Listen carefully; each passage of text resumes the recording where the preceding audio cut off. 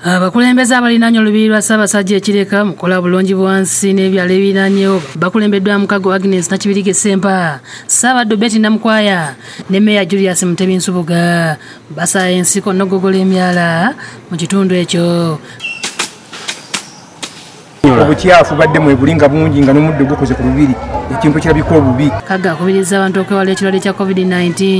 Nasaba buganda okujjumbira emisinde gy'amazaalibwa olunaku olw'enkya basibo ne banyabo tubeere abantu abobuvunanyizibwa tulumirwa wamu n'abantu bonna bonna naye mutwale amateeka ge batugamba aga covid-19 meeya mutebi asabye abantu okunnyikiza obuyonjo mu bitundu bye babeera. Omuntu alowooza nti ne mu lujja lwe talina kulongoosaamu oba mu maaso ge nti gavumenti oba loko gavumenti kati nga bwe tuli mu kira municipality nti kira municipality ejja okujja erongoose. Tubakubiriza okwongera okufangayo okukola bulungi bwansi okutandikira ddala mu nnyumba yaabwe mu bisenge byabwe. Mu ngeri emu abakesise nga bakulembeddwamu ebitongole byebannakyewa kubadde era foundation ne blue wave.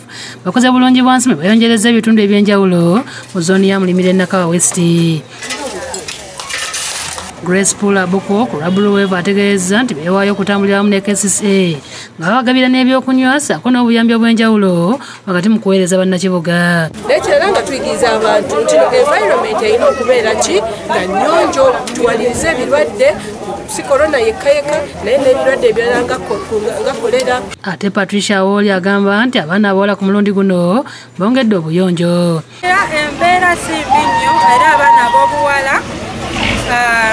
tebalina nnyonyo isu y'okuba nga tusanga ebyo ebintu ngaebyo nga wonaagamba abaana abafudde oba abaana babootinze ebinaba bisanga nnyo. Kiteeseewo impact yamannyo ku gurawundi ebitundu byonna bye tubaddemu. Tosingana abantu nga bamansamansa ebisandiko tosingana abantu nga bayiwa ebisandiko mu myala. Era n'olwaliro mulimira tujagireka ng'eri clean. Damba taddeo ne joel mukeera be bakusakidde eggulire lino Rabo TV.